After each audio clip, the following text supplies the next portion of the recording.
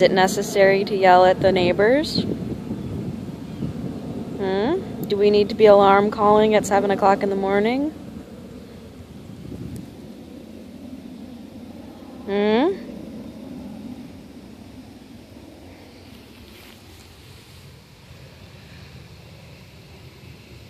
What do we think?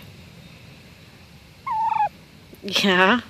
We think that maybe we don't need to do that at 7?